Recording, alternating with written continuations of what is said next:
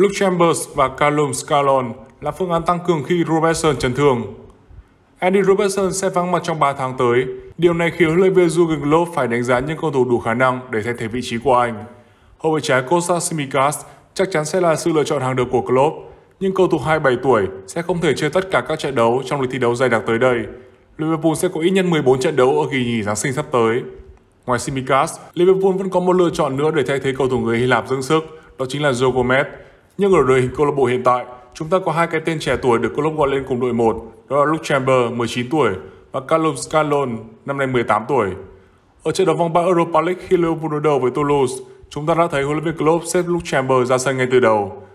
Với ba trận đấu còn lại ở vòng bảng Europa League và ít nhất một trận đấu nữa tại Carabao Cup năm nay, cơ hội hai cầu thủ tuổi tin có thêm được số phút thi đấu ở đội 1 chắc chắn sẽ tăng lên. Simikas sẽ cần được nghỉ ngơi để tập trung cho những trận đấu quan trọng hơn, còn với Gomez có thể được yêu cầu chơi ở vị trí khác ở bộ tứ hàng thủ. Huấn luyện viên Klopp phát biểu rằng Chúng tôi có Joe Gomez có thể chơi ở vị trí này. Chúng tôi có Luke Chamber và những cầu thủ trẻ khác xuất hiện trong các buổi tập khá thường xuyên. Bạn thấy đó, sự xuất hiện của những cầu thủ trẻ ở đội 1 của chúng tôi, điều đó thật tốt. Chúng tôi có rất nhiều tài năng ở lứa cầu thủ này. Vào tháng 9, trong trận đấu với Leicester City ở Carabao Cup, Chamber đã được lần đầu tiên được vào sân thi đấu cho Liverpool. Tuy nhiên vào sân ở những phút cuối cùng của trận đấu, nhưng điều đó cũng đã hoàn thành ước mơ của cầu thủ này, hướng tới kể từ khi gia nhập học viện Liverpool từ năm 6 tuổi. Kể từ đó, cậu ấy không được club sử dụng trong những trận gặp Union Saint-Ginois ở Europa League và Brighton ở Premier League. Luke Chamber đã dính một chấn thương dây chẳng khi tập trung cùng đội tuyển U21 Anh. Cầu thủ này vừa qua chỉ trở lại tập luyện hai ngày trước trận derby Merseyside. Do đó, Klopp đã chọn Scallon làm hậu vệ trái dư bị trong trận đấu đó. Cả hai cầu thủ trẻ này đều có mặt trong trận đấu ở Premier League International Cup của đội U21 Liverpool với đội khách U21 Benfica. Ở trận đấu đó, Chamber được ra sân ngay từ đầu và Scallon vào thay anh ta ở sau hiệp 1.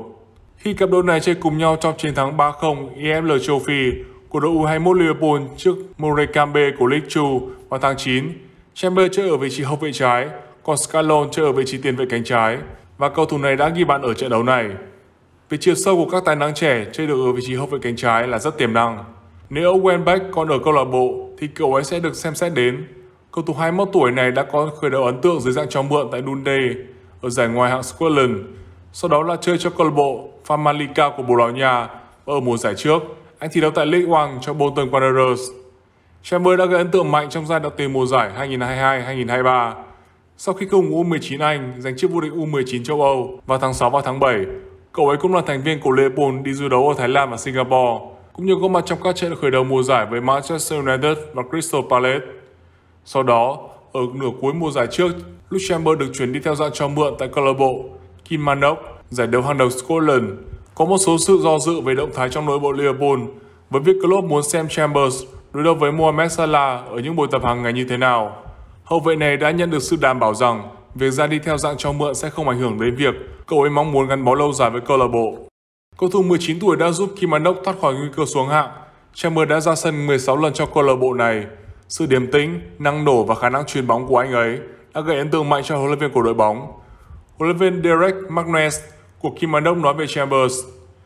Anh ấy phòng ngự theo cách riêng của mình, không để bị lấn át với những cầu thủ chạy cánh lớn tuổi hơn và cậu ấy thích tiến về phía trước bằng cách sử dụng tốc độ của mình.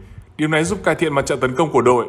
Phong cách của anh ấy được so sánh với phong cách của Robertson, người mà Chamber muốn noi theo khi anh ấy phát triển. Dù có vẻ ngoài trẻ trung nhưng sự trưởng thành trong phòng thay đồ của Chambers cũng rất nổi bật.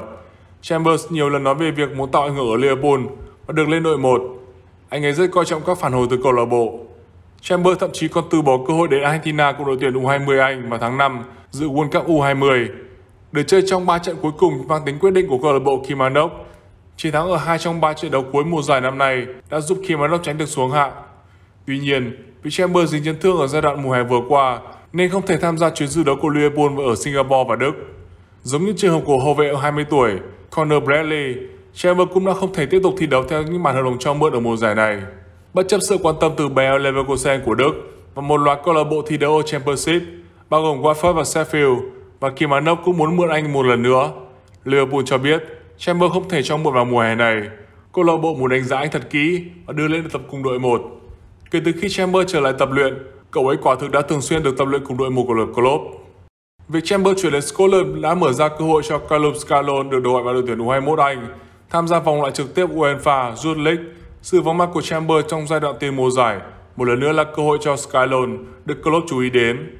Gia nhập Birmingham City khi mới 10 tuổi và ở tuổi 14, Scalon đã thỉnh thoảng được tập luyện cùng đội U18 của Birmingham City tại Championship. Các thành viên của học viện đã rất ấn tượng với phong cách lịch sự và nghe lời của cậu ấy. Scalon được mô tả là một cầu thủ dễ huấn luyện và ham học hỏi. Những người đã từng làm việc cùng Scalon khi còn ở Midlands đánh giá cậu ấy là một hậu vệ cánh hiện đại. Scalon xuất sắc trong khía cạnh tấn công, nhiều thể lực, năng lượng và tốc độ của mình. Liverpool đã đồng ý một hợp đồng trị giá 500.000 bảng với Scalon vào tháng 12 năm 2020. Hợp đồng này chính thức có hiệu lực vào tháng 2 năm 2021.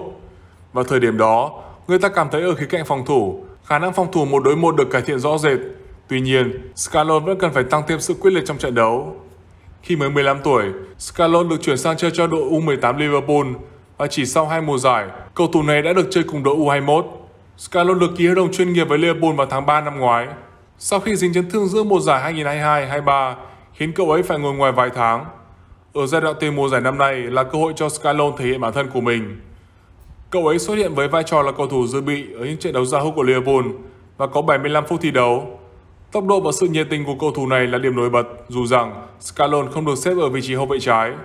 Lối chơi của Scalon đầy mạnh mẽ và tốc độ, khả năng giữ khoảng cách và cố gắng cô lập mình trước các hậu vệ cánh và đưa bóng vào trong vòng cấm đối phương. Ở trận đấu với Toulouse ngày hôm qua là trận đấu đầu tiên, Carlos Scalon được thi đấu ở một trận đấu chính thức cho đội 1. Cầu thủ 18 tuổi cũng đã có những phút thi đấu tốt ở trận đấu này. Với tình hình hiện tại khi Liverpool gần như chắc chắn sẽ vào vòng trong Europa League, vì vậy phương án khả duy nhất là Klopp sẽ sử dụng nhân sự cho những trận đấu thiếu vắng Andy Robertson, đó chính là Simicast sẽ đá chính. Hai cầu thủ trẻ Luke Chamber cùng với Carlos Scalon là hai phương án dự bị ở Premier League và Carabao Cup. Còn đối với ba trận đấu còn lại ở vòng bảng Europa League, sẽ có Luke Chamber cùng với Carlos Scalon đá.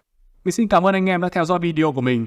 Anh em đừng quên để lại một like, share và hãy ấn đăng ký kênh để mình có thể gửi đến cho anh em những thông tin cập nhật mới nhất về đội bóng của chúng ta nhé. Anh em cũng đừng quên đưa ra ý kiến của mình ở phía dưới phần bình luận. Còn bây giờ, xin chào và hẹn gặp lại anh em ở các video sau. Xin chào tạm biệt và hẹn gặp lại.